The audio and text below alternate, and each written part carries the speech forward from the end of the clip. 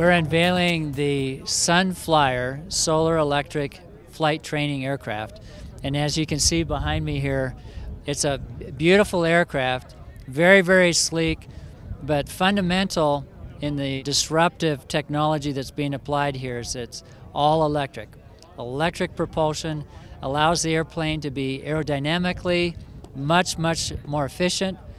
Lightweight composite structure, of course, but the key with electric propulsion is that we're getting our costs down to about $1 per flight hour of energy used.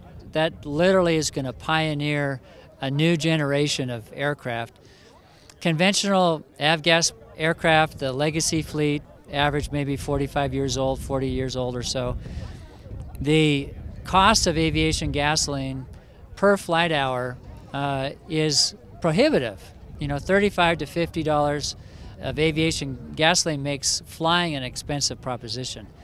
So by adding the efficiency, lowering the cost, we think we're going to revitalize interest in the aviation industry that we all love so much. This is our first prototype.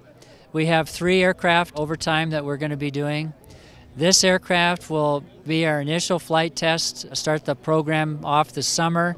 We should be flying mid to late summer or so with this aircraft, depending on you know how flight test progresses. Some variables there clearly, but over the next two to three years, we'll go through the FAA certification process and begin production in about two to three years. We think you know we're going to have a production entry and orientation towards flight training to begin with. This aircraft really is designed to be a flight trainer, and in terms of production and the production numbers, our partners in the flight training industry will kind of be the point of entry for the aviation industry use of this technology. We fly for about three hours initially. So a flight training sortie with a roughly 1.2 to 1.5 hour training requirement is ideal.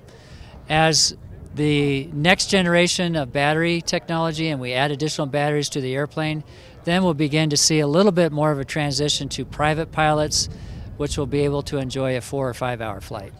Certainly in the next five to 10 years, we'll be much, much more familiar with electric aviation. 10 to 20 years, I think the legacy fleet of internal combustion engines will begin to noticeably diminish as electric aviation replaces them. Just like automobiles, we'll begin to see more and more of them over the next 5, 10, and 20 years.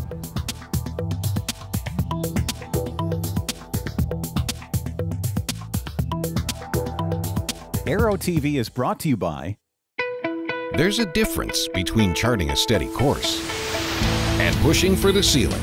And for nearly a century, Hartzell Propeller has been defining that difference. It's in our passion for engineering and research and our dedication to testing the limits of performance. We are built on honor. We are Hartzell Propeller. Concorde's recombinant gas RG series sealed battery technology produces a high performance battery with the advantages of being pre tested and fully charged at the factory. Find out more about Concorde's entire line of batteries at www.concordebattery.com. Concorde, the heart of your aircraft.